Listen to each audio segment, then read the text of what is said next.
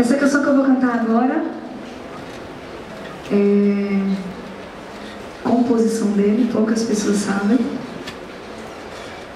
E tem uma letra magnífica.